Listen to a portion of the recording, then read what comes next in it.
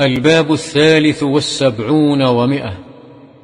باب ما يدعو به إذا خاف ناسا أو غيرهم.